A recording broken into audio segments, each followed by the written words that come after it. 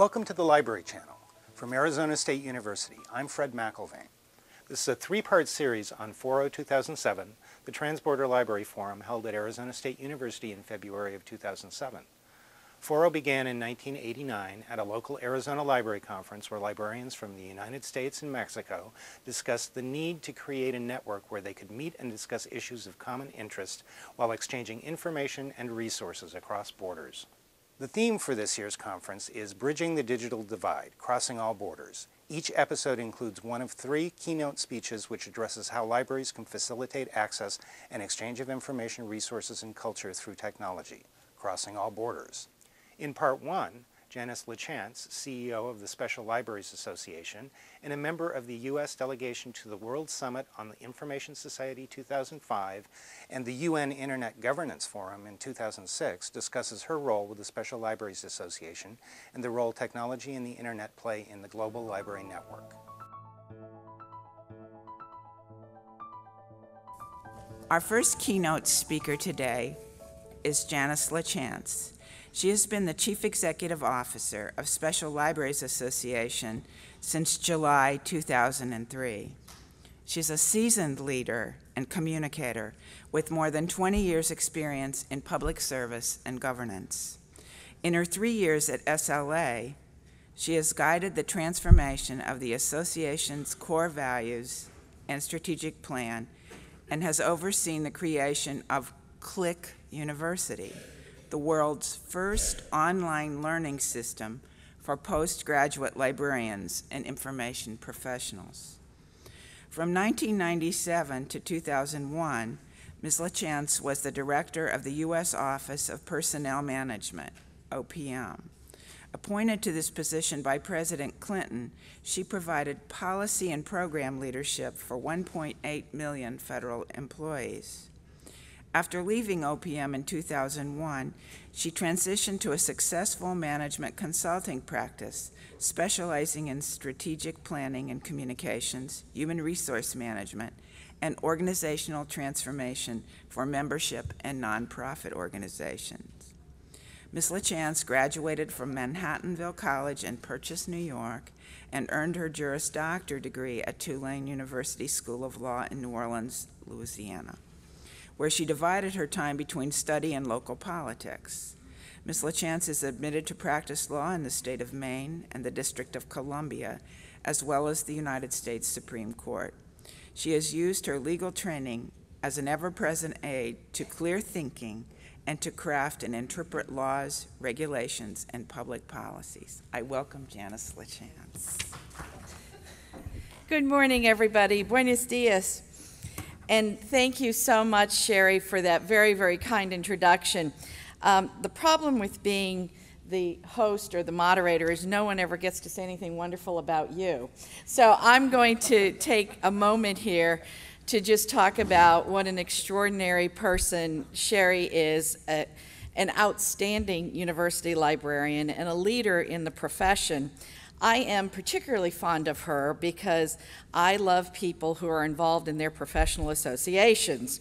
And Sherry is the president of the Association of Research Libraries, and she has managed to guide a group of high powered smart, brilliant people who I would think always think they're right, um, to um, some outstanding results both in the legislative arena and the programmatic arena, and really is a, a model for all of us who are passionate about our professional associations. And speaking of people who are involved in their professional associations, I too would like to add my thanks to Jenny Mueller Alexander for the leadership that she has shown, not only in pulling much of this together along with her team, all the yellow lanyard people. So thank you for all of that, but also because uh, she is wrapping up her term as president of the Arizona chapter of SLA, and so I'm very grateful for her work in that arena as well. I'm very, very excited to be here with all of you today. This is my first foro. I hope at some point I'll get to the five or 10 or 15 that some of you are able to brag about. But I know that I'm going to enjoy spending time with all of you. There are a number of people here who are old friends of mine who've been involved in SLA for many, many years, and I'll enjoy spending time with them, but also making some new friends.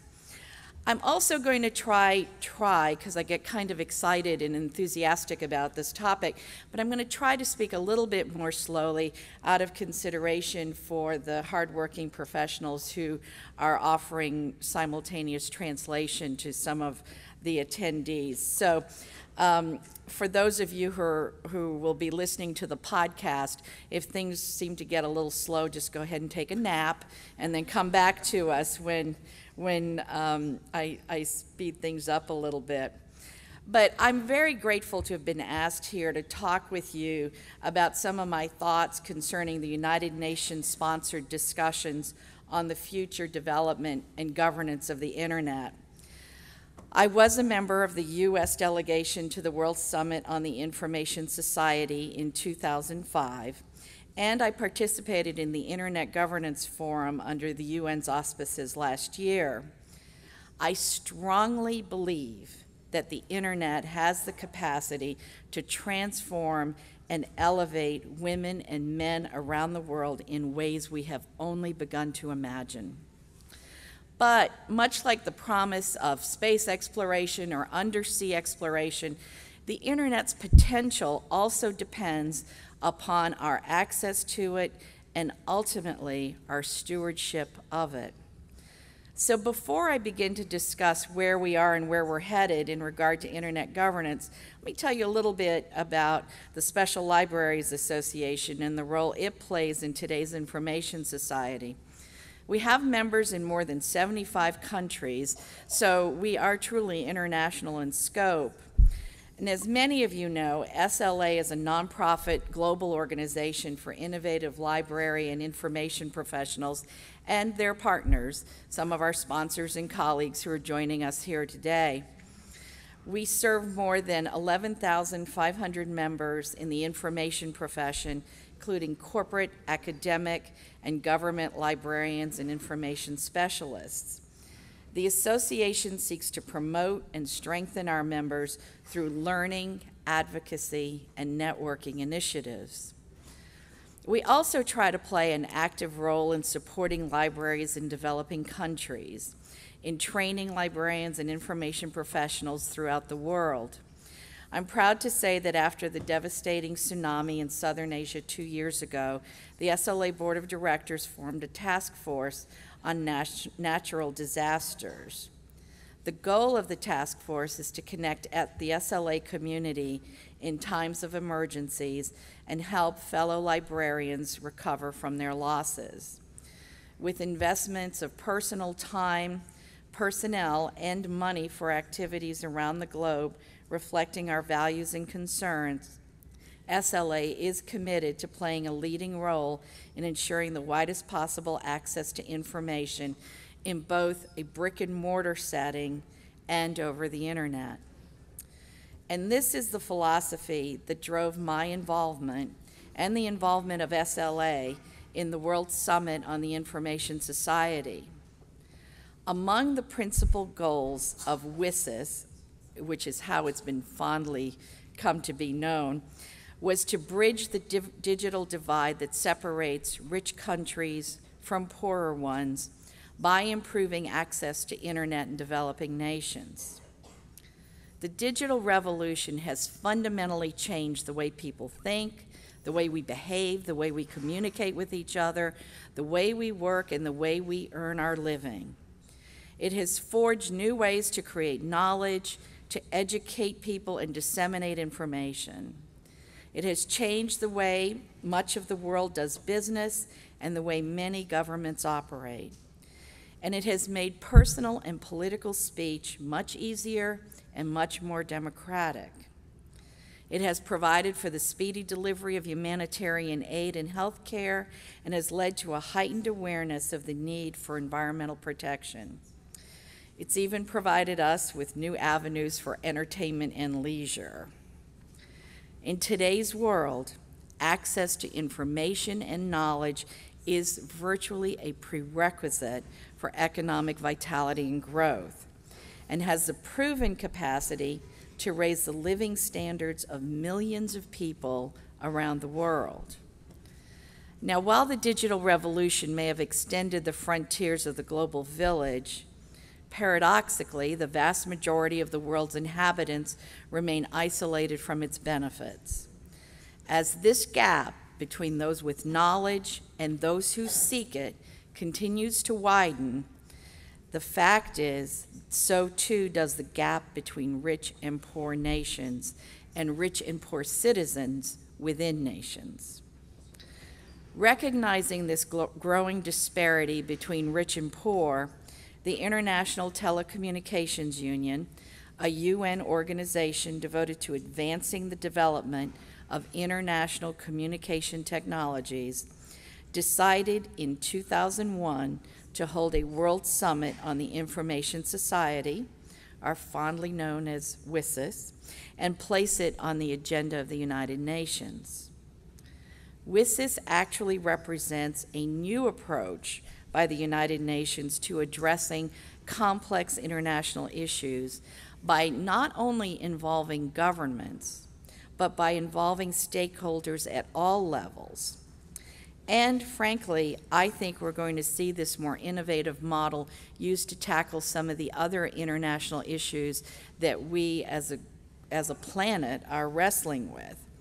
They're going to be different. They're going to be gatherings of all parties interested in making progress on specific issues.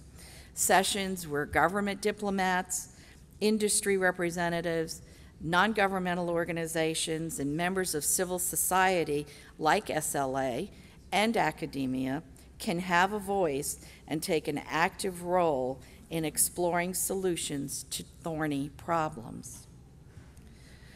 Now, it was determined that the summit would be held, summit would be held in two phases also rather unique. Phase one would take place in Geneva in 2003 and set forth an agenda. Phase two would be held in Tunis in 2005, where people would have a chance to look at whether any progress was made in two years and where to go from there. More than 11,000 participants from 175 countries attended the summit. These participants included nearly 50 heads of state and 82 ministers, as well as high-level representatives from non-governmental organizations and corporations such as Microsoft, AT&T, Sun Microsystems, and from civil society. When it was over, delegates had approved the Geneva Declaration of Principles and the Geneva Plan of Action which set in motion a process for pursuing agreements on internet governance and financing and following up and implementing this Geneva Accord. As a result, the second summit was scheduled for Tunis in 2005. Now, though the process of international dialogue often appears to occur without significant controversy, because as you know, all the real talking takes place in the back rooms, and then when everybody comes out before the cameras and the microphones, things seem fine. The truth is, things often happen to threaten the outcome of negotiations. The WSIS process proved to be no different. In the period following the first phase in Geneva, several preparatory committees, everything has to have a shortened name, so preparatory committees are called prepcoms, and that's where the real negotiations take place. Several of those were held in order to talk about ways to streamline the proceedings during the upcoming Tunis phase. Now, a few weeks before Tunisia, however, several nations, including the European Union, began calling for a shift in the way the internet is governed. Now, while we currently enjoy a fairly devolved structure of governance that allows for innovation and creativity to occur organically, these nations wanted to place control of the internet in an institution managed by all nations. There is no doubt this is a lofty goal, but personally, I think it's one that's fraught with peril. I know that the internet and the information it provides are imperative to all of us in this room. I also believe that creating a bureaucracy to govern the internet would have a profoundly chilling effect on the future of this technological wonder that has grown with a minimum of government interference.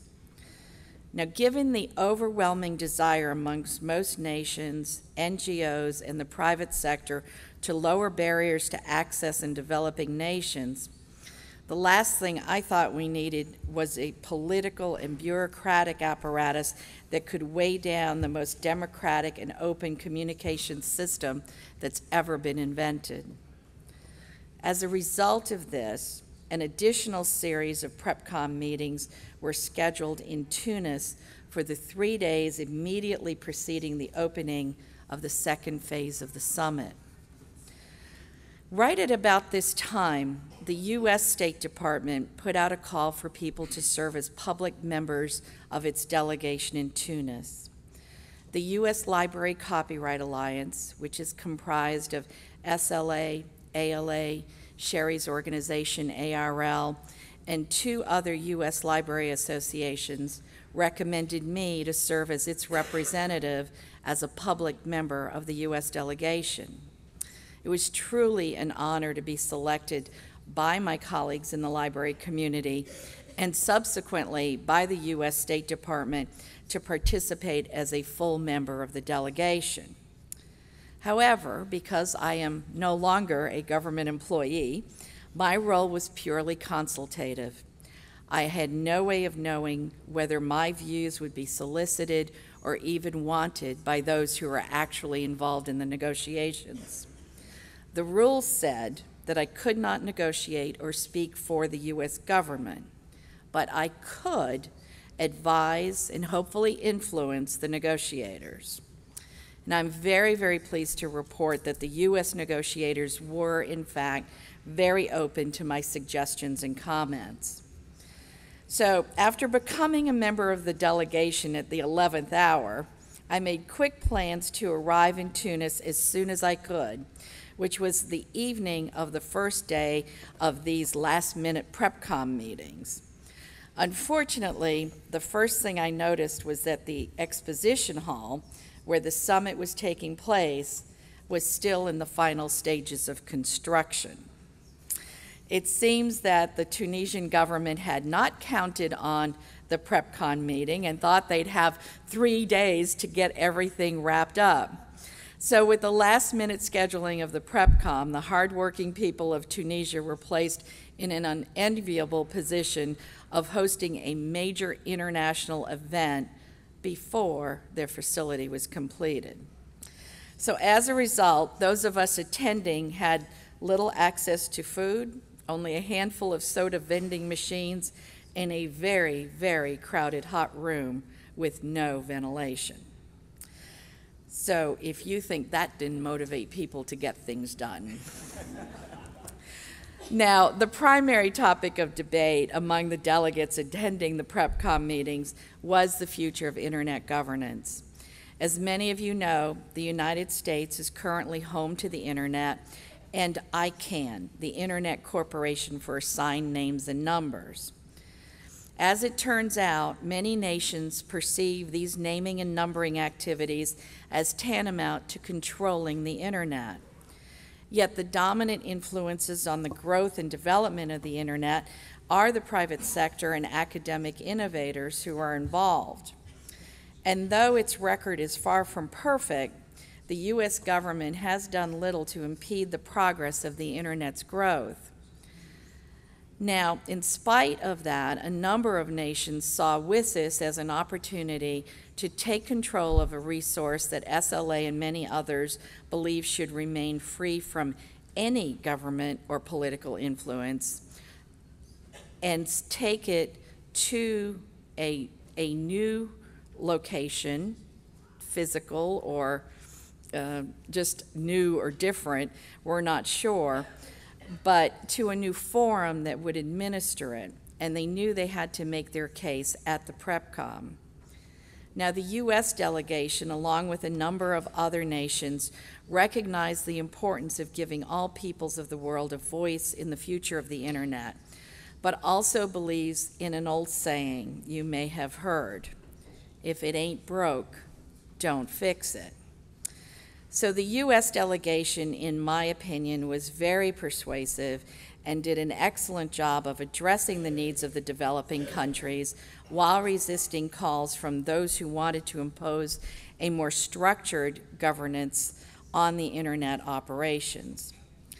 The PrepCom lasted three very long and very hot days. There were some sharp and pointed comments and dozens of private meetings among the delegates of the nations who were represented there.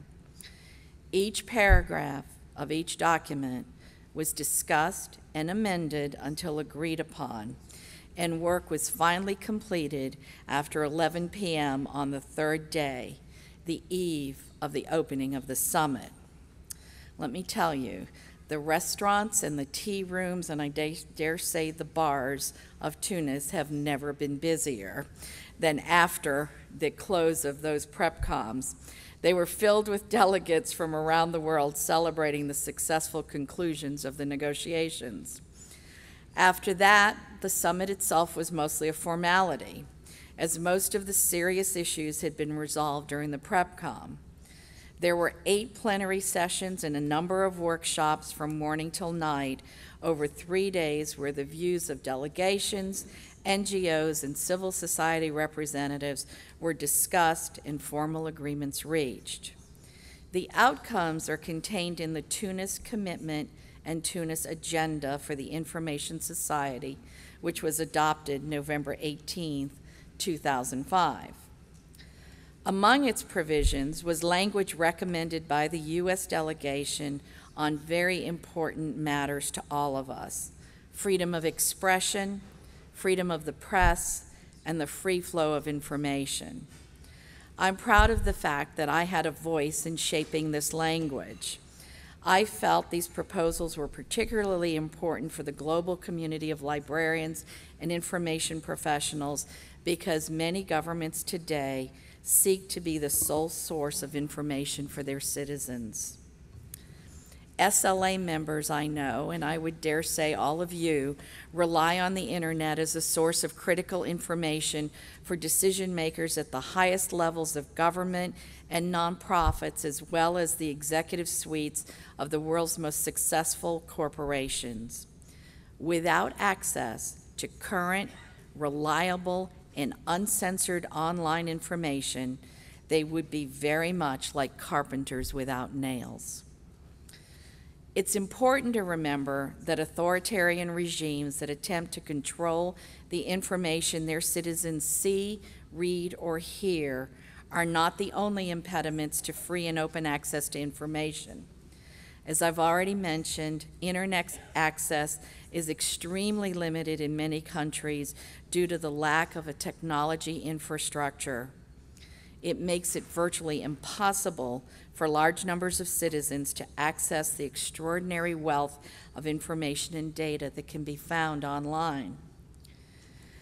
Then there's the thorny issue of intellectual property rights and international copyright law that looms over the internet like a digital sword of Damocles.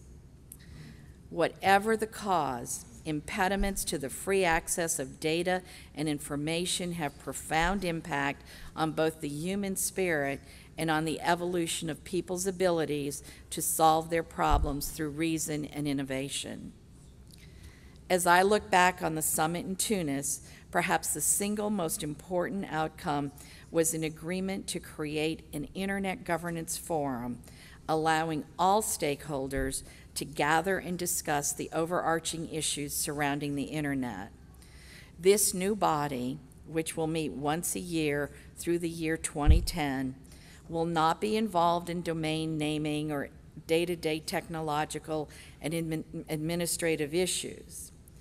It will, however, give all nations and stakeholders an opportunity to voice issues of concern without interfering in a system that, for the most part, works well. This collaborative, inclusive approach is crucial to the future of global information sharing and advancement.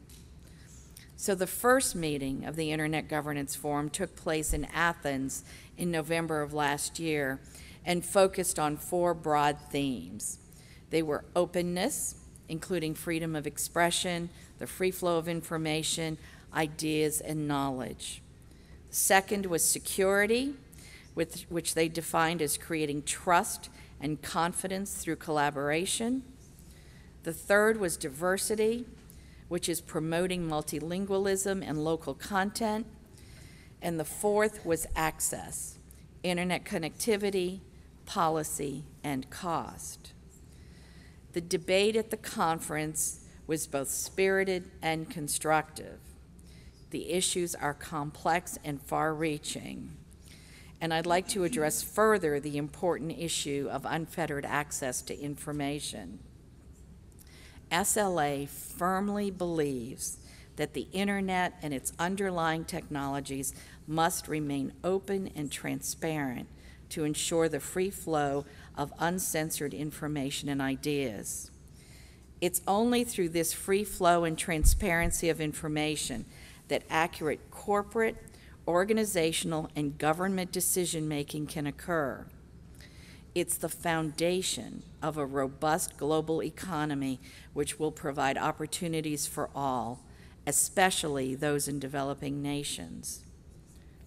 Information knows no natural or political boundaries, and with the rapid improvements in technology, will continue to be increasingly available despite the best efforts of content controllers who wish to restrict information for their own political or commercial reasons.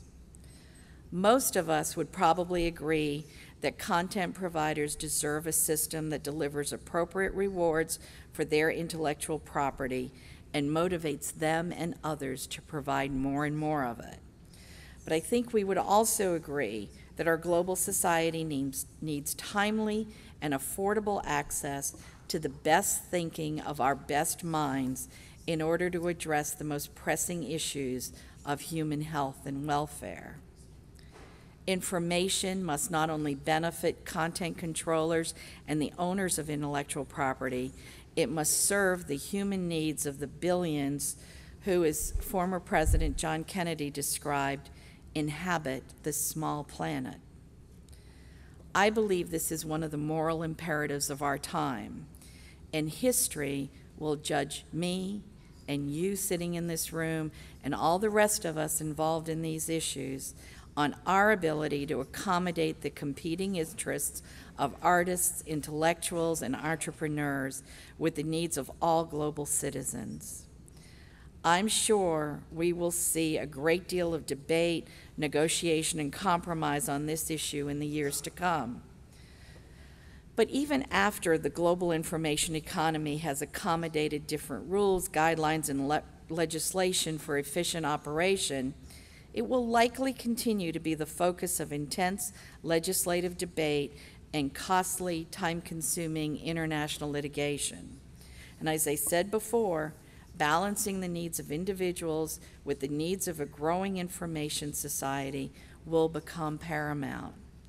That's one of the reasons I would like my colleagues at upcoming Internet Governance, For- Internet Governance Forum meetings to consider a set of goals that were developed by the Library Copyright Alliance.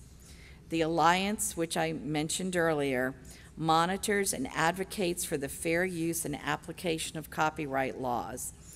They propose these goals for the international development agenda of the World Intellectual Property Organization. The goals set a clear path for advancing libraries and information centers as major sources of information in the global information age. The first goal focuses on a robust and growing public domain, providing new opportunities for creativity, research, and scholarship. It talks about public access to works created by governmental authorities, access to published works with regard to government-funded research, and not subjecting copyright-like protections to facts and other public domain materials. The second goal looks to effective library programs and services as a means for advancing knowledge. This goal speaks to the copying and migration of content into new formats for the purpose of preservation, lending, network availability, conversion of material for persons with disabilities, and the copying of material still in copyright. The third goal encourages high levels of creativity and technological process resulting from individual research and study. This deals with copyright laws so as not to inhibit the development of technology, permitting the copying by individuals for personal research and study and technology circumvention ex exceptions. And the fourth goal deals with harmonization of copyright. This goal recommends refraining, refraining from the overriding of established copyright practices with other bilateral or multilateral agreements and stresses that goals and policies agreed upon are important statements of national and international principle and should not be varied by contract. These principles not only set a tone for the advancement of libraries, they provide considerable wisdom about ways to address the growing intellectual property debate. Again, I think this is something the IGF should take a good close look at. So, where's the debate about internet governance headed next in the diplomatic arena? A recent IGF stock taking session held in Geneva may give us some clues. The purpose of the meeting was to assess what worked well at the first IGF meeting in Athens and what should be changed for the upcoming meeting in Rio de Janeiro in November. By and large, attendees were pleased with the innovative character of the IGF and with the need for a preparatory process in advance of the meeting. Some, however, called for additional transparency and there was general approval of the meeting format where participants created a useful and beneficial space for dialogue among all stakeholders, not only government representatives.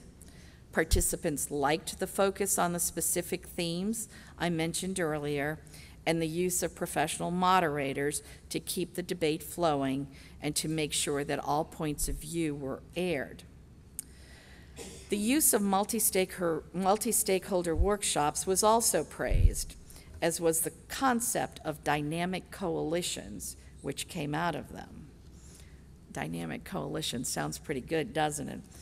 They are thematic networks that can help facilitate discussion among stakeholders in between the meetings and they can be created and can have membership that fluctuates on an ongoing basis. They can come and go, they can be active or dormant, and it really is a place for people who care about a particular issue to spend time together during the time when the Internet Governance Forum is not in session. I'm currently a member of two dynamic coalitions coming out of the Athens meeting one on intellectual property and one on open access. One of the biggest concerns of the attendees was the limited participation in the IGF by representatives from developing countries. In addition to discussions of ways to expand remote participation, there was talk of the need for donor nations and those in the private sector to do more to encourage the participation of those who lack financial resources to attend. Perhaps the discussion of greatest significance at the stocktaking had to do with the future of the IGF itself. A number of participants would like the IGF to do more than merely solicit stakeholder views and educate the public. Clearly, there is pressure to expand the role of the IGF and allow it to provide formal policy recommendations for future consideration. I think it's fair to say those pressures are likely to increase with time. Also, as a result of the creation of the IGF, several UN organizations are seeking some level of control over the subject of internet governance and other outcomes of WSIS. So, when we used to just be able to follow what was going on at WSIS in Geneva, then in Tunisia, now we have, as stakeholders, to carefully monitor a multi headed hydra of organizations that could alter the scope of internet governance very easily. So, besides paying close attention to the annual Internet Governance Forum, we must keep an eye on the International Telecommunications Union, which has just changed its entire strategic plan to reflect its desire to become a leader in Internet governance issues and we have to track the actions of UNESCO, who also will have a piece of the action. Now, I can't do it alone, nor can SLA. We need your help. I would urge all of you to become participants or at least active observers in this unfolding international drama. At stake is the future of the internet your internet, our internet, and its potential as the most significant medium for change since the invention of the printing press. Make no mistake about it, though, some determined politicians and global economic powers will continue to do all they can to limit broad access to and the use of information. So please don't ever forget the adage that information is power and by supporting a strong international commitment to unfettered access to information and to transparency on a global scale, we will be able to ultimately benefit all the people on this planet. By getting involved with your peers on this issue, either directly, through SLA, through your own professional uh, association, or your government, you will not only have a front row seat for the most significant debates of our lifetime, you could have a direct influence on your profession and those you serve. Thank you very much for listening.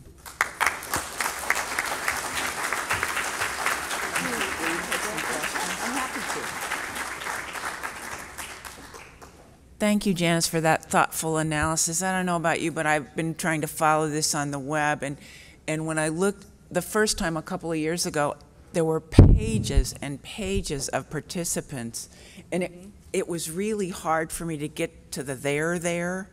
So I think this analysis will help you think through what's important to read. Janice is willing to take some questions. Jesus asked about the privatization of the internet and whether that was included in any of the discussions about internet governance. And I was saying that that yes, it was mostly as one of the things that could really be disruptive to the free flow of information. Um, there, there are strong commitments to broad principles. Just about every nation even some that may surprise you, will stand up and say they are for the free flow of information.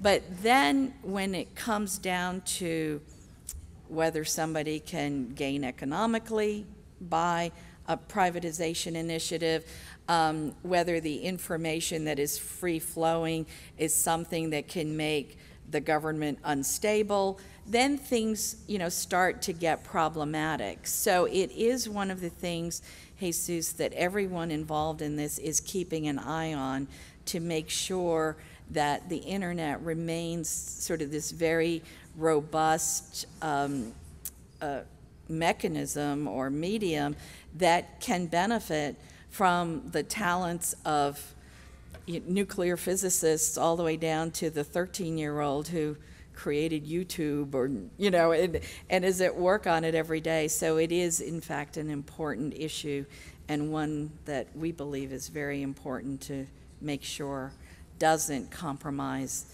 the, the internet's vibrancy. The, the question was about the, the scope of the people in developing nations who cannot access the internet and, and don't have it available to them, and what some of the challenges are. Um, I, I can't give you a number or anything like that, but I think it is far greater than any of us imagine. We think, for example, particularly in the library community, that most libraries now around the world are connected to the internet. And in fact, in many, many continents, that is not the case. And sometimes it's because there's no infrastructure, including some of the basic things. Barbara and I were talking this morning. It's, it's not just having the, the cable connection or the internet connection, it's fundamental things such as no electricity or electricity only part of the day or you know some of the things that we take for granted you know no telephone wires. I mean you look at a nation like china who never wired its country for phones. They went right from no phones to cell phones you know. So you know there are um, there are huge logistical challenges which means their financial and economic challenges because it takes a lot of money to fix those. I also worry about the challenges that governments place on their own people. Um, I, am no expert in this, but it we read, we all read the newspapers. We know that there are major nations around the world who believe that their citizens do not need to know some information or should not have access to information. So I actually think it's a two pronged issue where in some nations it really is an economic issue. People, they just don't have the resources to get the electricity, the connectivity, the, the wires, the pipes, the things that you need. But I think probably, in my mind at least, um, a more dire situation is where you have a government of a country that has the resources but chooses not to let their citizens have access to information. So I think it's a two pronged issue. And I think if you take both of those, it's probably most of the people in the world at this point who do not have access to the internet.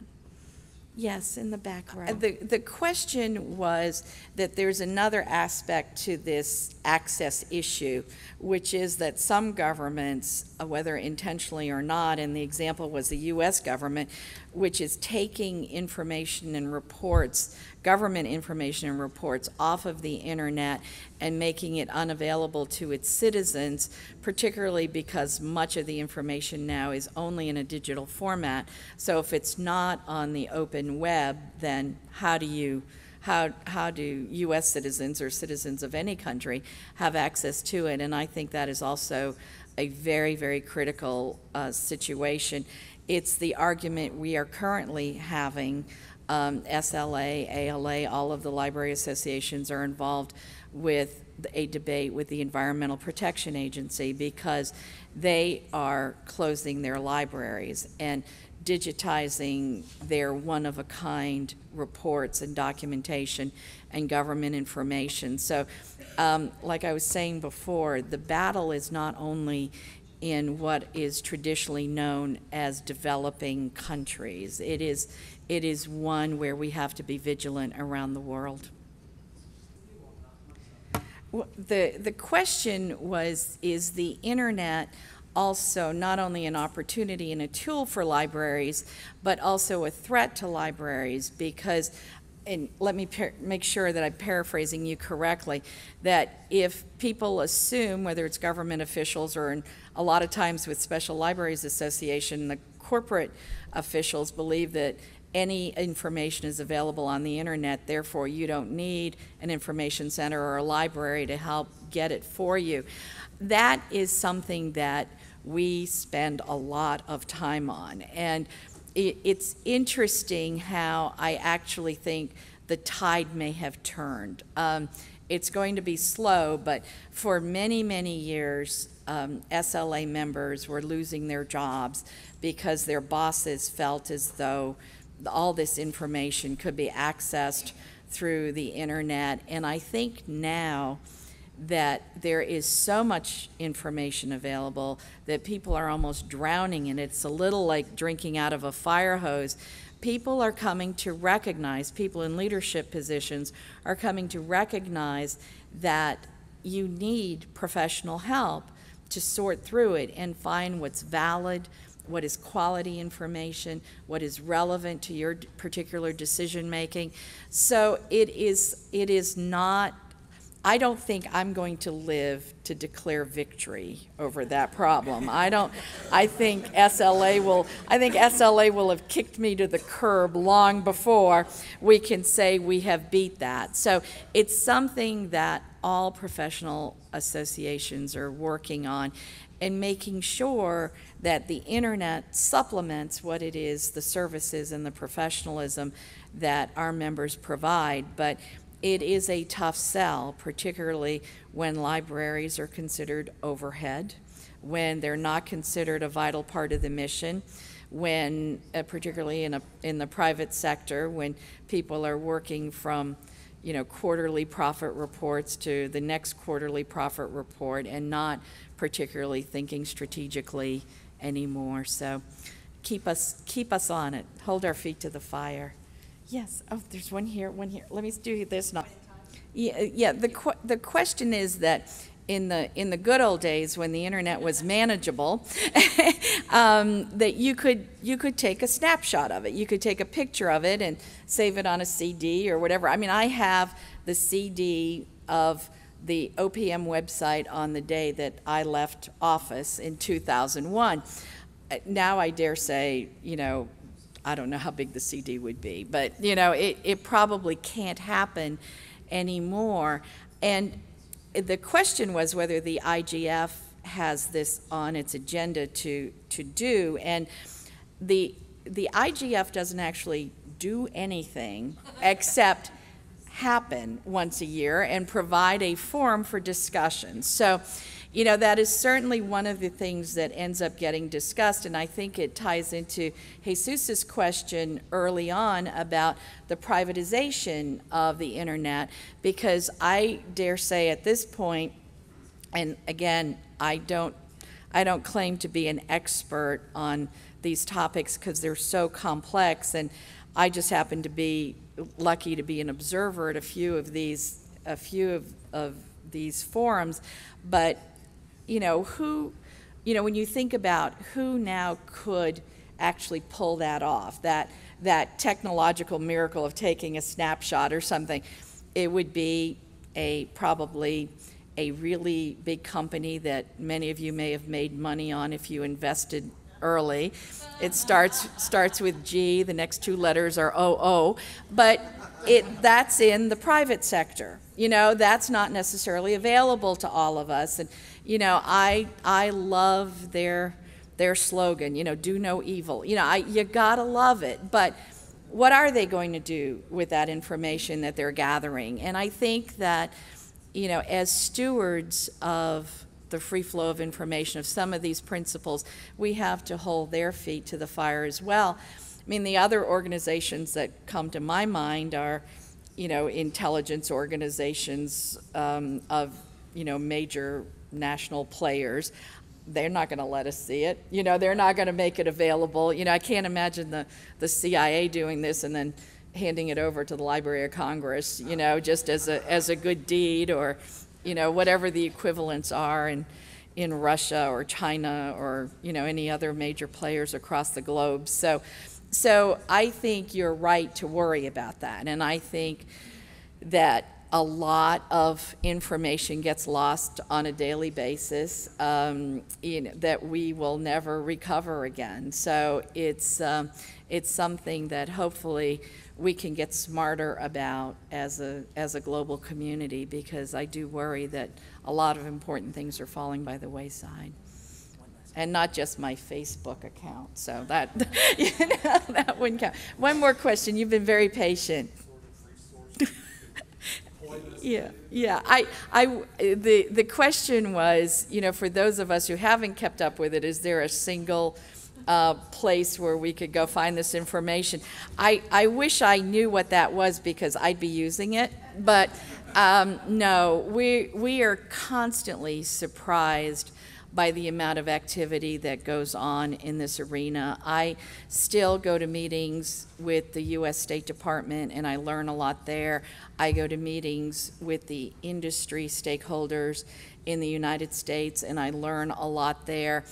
Um, your, your professional associations, I think, are both the way to, to learn about the issue, but also a way to contribute about the issue. I mean, I, I have no qualms saying I need help in this. And, you know, if somebody sees an article about it, you know, Janice at sla.org, you know, shoot it to me. I mean, because chances are I will not have seen it. No one on my staff will have had a chance to dig it out.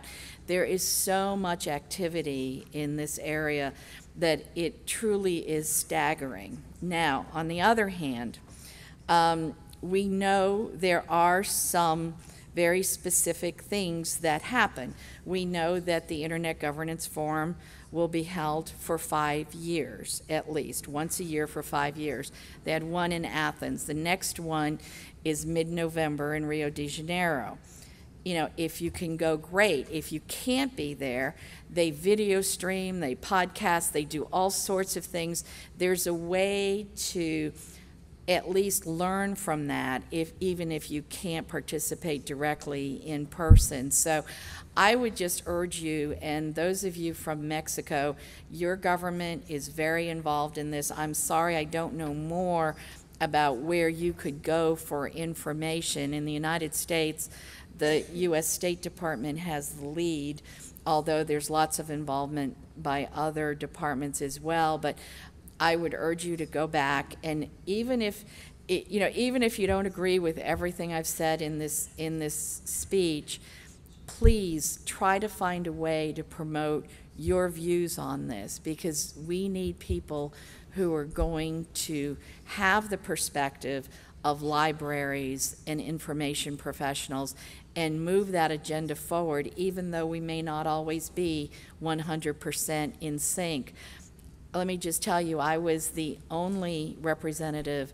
of a library association in Athens for the Internet Governance Forum.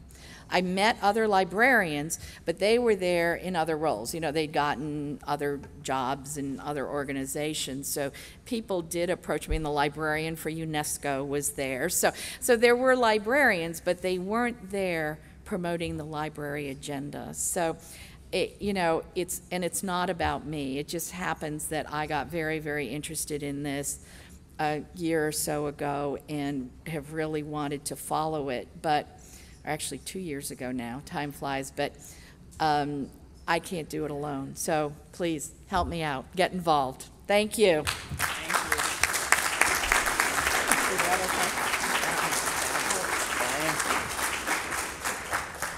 Thank you, Janice. Now, that was just an appetizer and wasn't that good. Yeah. So, I hope you'll enjoy uh, the rest of the programs today, and I will see you about. And uh, thank you very much, Janice.